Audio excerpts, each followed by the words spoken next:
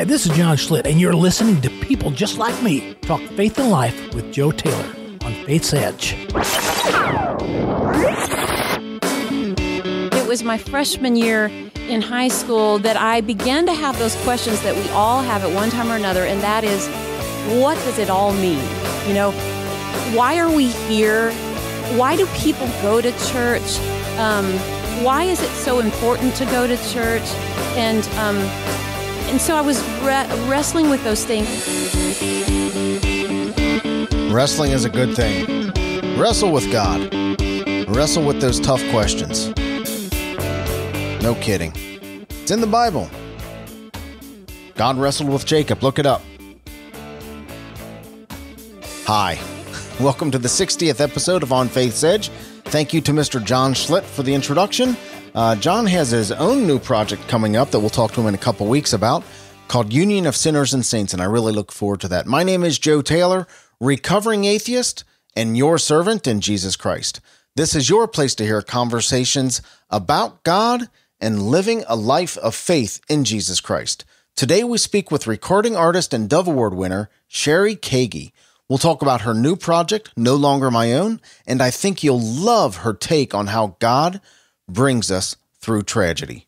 Cheri began her career as a worship leader at a small church in Southern California before recording her debut album on Sparrow Records. That was called Child of the Father. That was back in 1994. Honored with a Dove Award nomination for New Artist of the Year, Cheri has gone on to record eight additional albums, resulting in nine number one songs, three Dove Award nominations, and a Dove Award win. After more than two decades in music, her ministry has expanded to include speaking engagements as well. Her latest project, No Longer My Own, is available from Psalm 91 Records, Elevate Entertainment, and of course, it's on Amazon.com.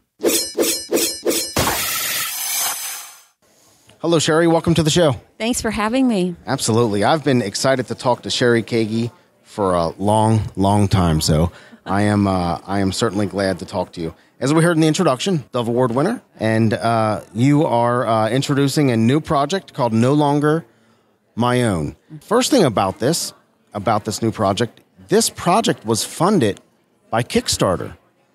Yeah, well, I like to say God funded the thing Yeah. using the tool Kickstarter. Absolutely right. Um, so, so tell us about Kickstarter and that process, because Right. because uh, uh, John Schlitt recently funded a project through Kickstarter. Yes. and uh, he was really excited about how that, how that went. So tell us about Kickstarter. You know, I many of us artists were back on the major record labels back in the day, and they funded your project.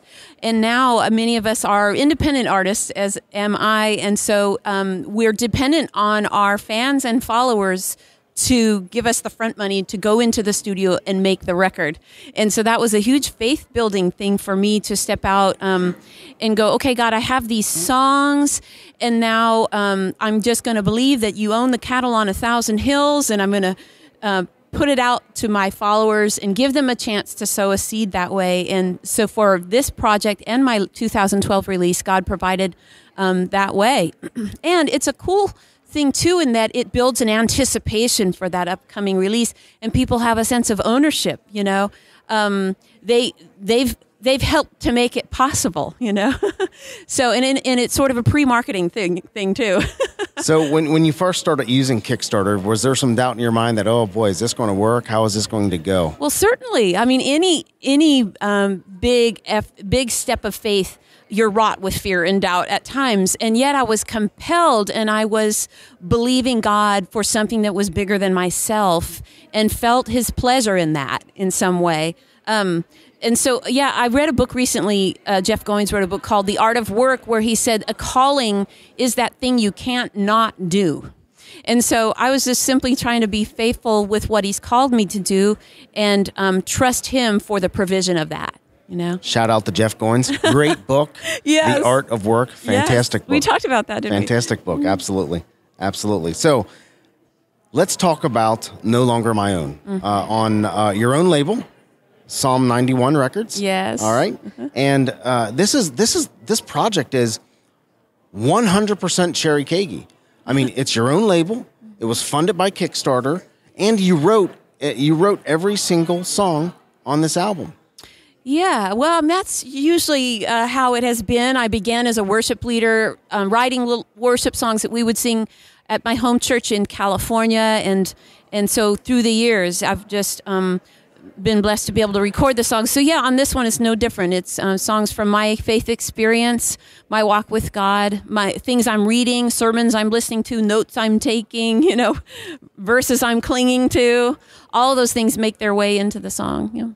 So what makes what makes no longer my own different from your previous projects?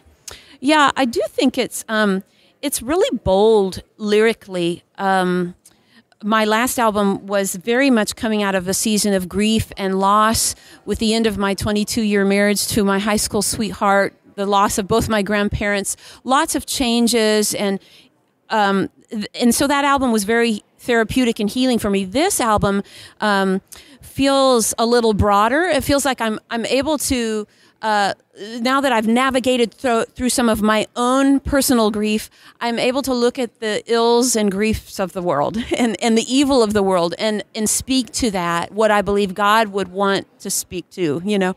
Uh, so, for example, the first song, Overcome, uh, is um, just it came when I, I was thinking about the ISIS beheadings, and we were seeing all these images in the media about the persecuted believers. And oh my word, what is happening in our world? How scary is that? And and I just believe God wanted me to share John 16 33. In this world you will have trouble, but take heart, for I've overcome the world. And then he says, In um, I've told you these things so that in me you may have peace.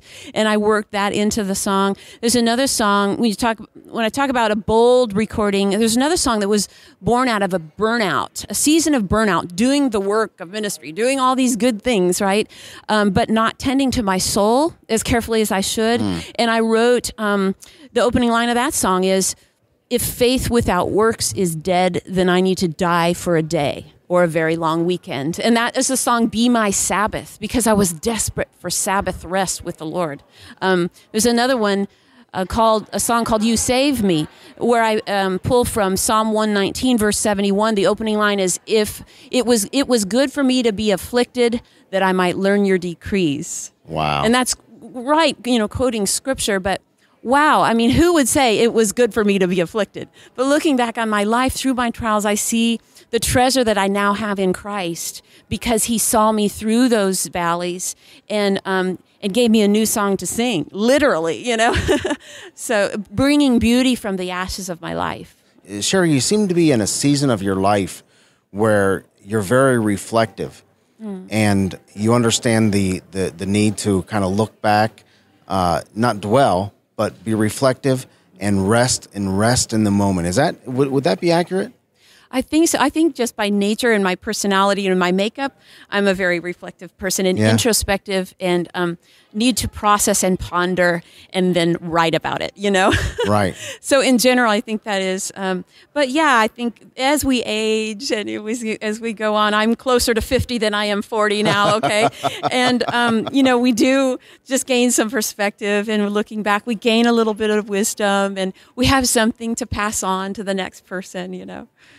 Yeah, but uh, you also seem to have a, a, a, a vigor and a passion uh, for for bringing uh, bringing your view of God and and what God has taught you uh, to yeah. to your to your fans. Yeah, I'm I'm compelled when God has been good to you as He has been to me in personal and practical and tangible ways. You can't help help but tell tell that story to other people. So I don't know. I feel like maybe sometimes people get tired of it, but um, I, I I have a line in a song from my last album. The hook is, "I have heard the truth, so I can tell."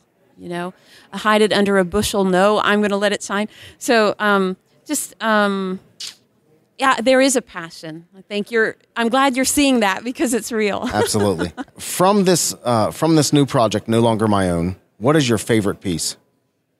Um, yeah, that's hard to answer, but there's one that comes to mind. I love the song "You Go Before," um, and it's a ballad. And um, you know, there's a beautiful scripture in Deuteronomy 31. I think it's verse eight that talks about how the Lord goes before us. And you talk about being reflective. I can look back on my life and see um, through the hardship that God was not only with me, but he was going before me in ways that I could not even perceive, you know, and I'm, I'm walking into those things now. And I know he has a future even beyond and the promise that he'll never leave or forsake. And so for, it was interesting. I was um, playing the rough piano vocal demo of that song. Uh, Phil Keaggy actually had done the piano vocal uh, demos for this album. And I was playing it with my roommate whose father is struggling with Alzheimer's. Mm. And she's been very close to her dad all through the years. She's an only child. So this is a major adjustment in her life and facing the unknowns of you know how long will her dad be here? And and I in our conversation I said you got to hear this song. And I played the demo of you go before and she just wept. And it was such an encouragement to her that okay I don't know what this journey holds for me and my dad. I don't know how long I have with him but I know God is going to be with me every step of the way you know? let's take a minute and listen to you go before have the answer before the question. You know the ending before it's begun. You set the rain and the clouds in motion, knowing full well you would bring back the sun. Ready and waiting with kind provision like a lighthouse that shines through the storm. A vision of land for the homesick sailor. You go before.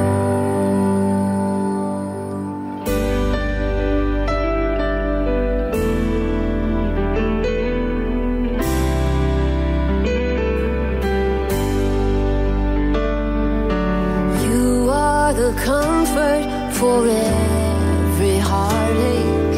You were the healing before there was hurt, doling out strength. Well, you're you're primarily known as a as a recording artist, but you do your your fair share of speaking engagements as well, right? Yes, yes. What are the uh, what are the major themes of your of your speaking engagements? Who do you who do you typically speak to, and yeah, largely I'm speaking to women's groups, it mm-hmm. seems. I just seem to connect with women. Uh, I am speaking, uh, they say that pain is your platform. Your pain is your platform. And so naturally, I, um, I share some of my own personal testimony and how God has met me in my brokenness. But um, generally, I, I've talked about joy, uh, you know, finding joy in our journey through every season of life. I've talked about my journey of forgiveness because uh, there were certain tools and things God had to teach me to learn how to forgive um, and let go of my bitterness and, and resentments. Uh, I talk about how God brings beauty from ashes. Um, uh, there's a verse, Isaiah 61 3, that says, He gives them a crown of beauty for ashes. And everyone uh, can relate to that, has, has loss or ashes of some kind. And I can speak to, you know, having gone through that and now living in the beauty stage that I can say to um, the women, I don't know how God is going to work it out in your life, and you may be still in the ashes, you may still be in the winter season, but I can say to them that spring is coming, you know, and that as you press into Him in your in your hardship, he he will redeem your pain, whatever that is. Um, for uh, it's different. I like to say same mess, different details. um, you know, we have different details of our mess, um, but God, in His gracious way, in His merciful kindness, um, as we lean into Him and and we carry and we bring our empty selves to Him, we come to the end of ourselves. I like to say, when we come to the end of ourselves, we come to the beginning of Jesus and he reveals his love to us in a way that transforms us if we give him access to our heart, you know? And sometimes we, I've said also many times that we don't really learn how to trust God until we have no other choice. Mm. And that's what I've discovered in my own life okay lord this thing is a mess but you are my plan a. I don't have a plan b you know? And so okay i don't have any other choice but to trust that you're going to work through my circumstances. And he's done that in big ways in my life and he'll do that for your listener whatever whatever you're facing. It just may seem completely impossible if you will bring that thing, carry it to the feet of Jesus, and unload it on Him and say, God, take this and make sense of it. I surrender it to you. I give it to you. He will honor that prayer. I don't know how or when or why, but He will honor that prayer, you know? That that leads me to ask: Can, can we can we talk a little bit about your own faith and your personal faith? Yeah. Yes, my faith. How did uh, how did you come to believe in Jesus Christ?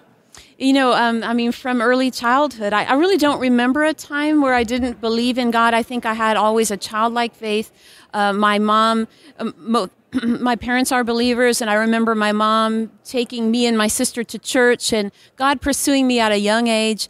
Uh, and I remember having my first communion in church and uh, uh, serving in the nursery, you know, rocking the babies on Sunday morning and playing piano for the church offertory. So I always had a positive experience with church and ideas wrapped around God. And yet it was my freshman year in high school that I began to have those questions that we all have at one time or another, and that is, what does it all mean? You know, why are we here? Why do people go to church? Um, why is it so important to go to church? And um, and so I was re- wrestling with those things, and I um, met someone in high school who challenged me to begin to read the Word of God. Um, and so God was warm. I, I describe my conversion experience as crock pot Christianity. Uh, not crackpot. Big distinction there. Crockpot because it's not like I had some lightning bolt, you know.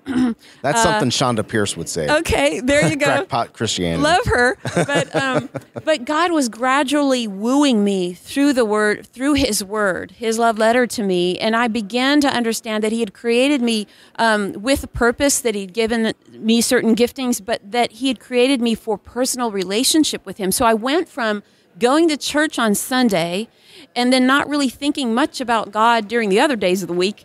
It was a compartmentalized faith experience. And I went from that to actually reading God's word every day, pulling out that Bible and doing little Bible studies and things like mm-hmm. that, and realizing that His word is living and active and that it's not just this history book. Yes, it's full of history and an adventure and intrigue and all of this, but um, but it's more than that. The words are alive and and um, and I was just inhaling, digesting the Word of God, and that transformed me. And uh, I can't pinpoint a day. Okay, I got saved on this Right, day. right. Um, but it was like I say, a, a gradual warming of my heart, and God, I think, uh, maybe removing the scales from my eyes to come to a realization of His love for me. You know. You know, it's it's it's um it's interesting. We were I was talking to somebody yesterday about about when they gave their life to Christ, and he says, "Well, I've been a believer for about twenty years, but I think I had to do it again yesterday about ten o'clock." Getting saved over and over again kind of thing. Yeah, yeah. That's good. so you uh, you you grew up in the church, and uh, you would kind of consider yourself a Christian your whole life, uh, but you really took started to take your faith seriously um, as a young adult. Is Yeah. that is that right? Uh, since that time, Cheri, have you ever had a time where you doubted your faith or even the existence of God? Um, you know, when you're crying out to God in a in a wilderness season, um, you I don't think that I ever doubted the existence of God, but I questioned His silence in years where I was desperately crying out to Him for help in my circumstance, um, um, particularly in a difficult marriage relationship where I was desperate for answers and hope and. Um, crying out to him and questioning why isn't he help why it, seems like he wasn't helping me or he wasn't fixing the situation you know and so i've certainly had times where i was angry at god and particularly when the whole thing unraveled unraveled this marriage that i had so invested in and believed so wholeheartedly that god could heal and redeem just as he had healed in my own heart the the sin of of unforgiveness. And he had set me free in in that place. I had experienced his healing power. And so i believed so much so strongly that he would do that in my marriage could do that in my marriage. And in the end that's not what i got. I didn't get the answer that i prayed for. Um, and so yes there was anger you know why even bother God? You know, if this is the end result. And um, but God was with me, holding me even even in that angry place. And I remember scribbling in my journal, just angry scribbles, you know.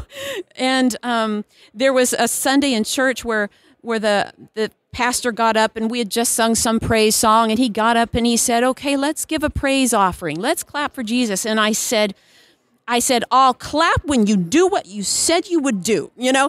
And I was giving Jesus a, a piece of my mind, you right, know. right. and then Calling him out. Yes, and then just repenting of that anger, but all the while he He can handle it, though. He could handle it exactly right. I mean, where else could I run with Don't you all think we of need that to do that emotion? more often? Just What? realize that. Don't you think we need to do that more often? Yes. Realize that God is God and He can handle it. He wants us to shout Yeah. out to Him, doesn't He, Cheri? Yes. I mean, doesn't He want us to? I mean, Moses did it. I mean, people did it Yeah. throughout throughout the Bible, doesn't He? Yes. Don't you think He wants us to do that? Yes, and he said, Jesus himself said uh, on the cross, he said, Father, forgive them, for they know not what they are doing. And um, so, you know, that begins to soften my heart. Okay, okay, um, God, it, it, it's okay. God, I know you've got me. I know it, that somehow you're going to bring beauty from um, these ashes. Um, so I don't know if that answers your question, but It does. yeah, I think um, it's a normal thing to doubt. Um, but blessed are those who have not seen and yet believe. There is a faith, a real faith element there that's mysterious that you can't really put your finger on sometimes. But the, the Bible speaks that God gives us the gift of faith, and um, and, and we're just sort of flailing here to go okay, I'm responding to this. I don't understand the full scope of this, but you're drawing me. Your love is so compelling. Your acceptance of me, just how I am, is so compelling. And so, yes, I will lay down my life, you know. yes, I will serve you. We have a we have a big part of our of our audience, Cheri, that are non-believers or seekers, uh, primarily non-believers. Um, what would you say to somebody that is right on faith's edge, about to make that choice to believe or not to believe in God? Well, I think of the verse about how he lays before us life and death. And he says, choose life that you might live. I mean, it's an invitation. Um, and and yet God is a gentleman and he won't he, he doesn't want robots. He, he's not going to force himself on us, but he holds out hope like an invitation and it's a 24 hour invitation. We can come at any time. And he says i am here. I am here to help you. I'm here to love you. I'm here um, to forgive you of the mess you've made of your life of your own life of other of the mess you've made of other people's lives. Um, I don't. It, it's difficult to articulate. There are other sojourners of the faith who have articulated it better. I'm thinking of, um, you know, certain books, More Than a Carpenter, right? Yeah, Josh yeah. McDowell. Yeah. Um, Philip Yancey. There was a book um, called The Jesus I Never Knew uh, that Philip Yancey wrote that I w- read years ago that helped me understand Jesus walking in this earth as a man and yet uh, fully God and, and fully man. And um, I, all I know is I, I loved him more after I read that book. Another book, um, John Ed- Eldredge and Brent Curtis, The Sacred Romance. I loved him more after I read that book. Um, In addition to those, uh, anything by William Lane Craig, Okay. uh, uh, anything by Ravi Zacharias, yes. Uh, very good stuff. Cheri, I don't think we can say anything more than that.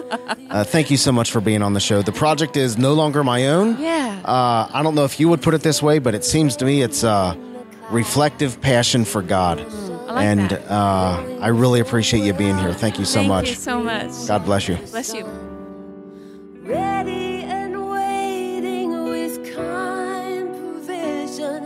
like a lighthouse that shines to the Cheri's No Longer My Own is available at Amazon.com and Christian music retailers everywhere. Her website is cherikeaggy.com. These links, as well as Cheri's Facebook and Twitter links, can be found in today's show notes at onfaithsedge.com slash 60. That's onfaithsedge.com slash 60. Well, that'll wrap up today's show. Thank you to Cheri Keaggy for being with us today, and thank you for listening. You mean a lot to me, and you mean a lot to this show. God is real. He loves you, and so do I. God bless. Thank you for listening to On Faith's Edge. You can subscribe to the show via iTunes, Stitcher Internet Radio, or your favorite podcast app on Android, Apple, or Windows devices. To reach out to Joe or leave comments about the show, visit onfaithsedge.com. You're important to us, and we would love to hear from you.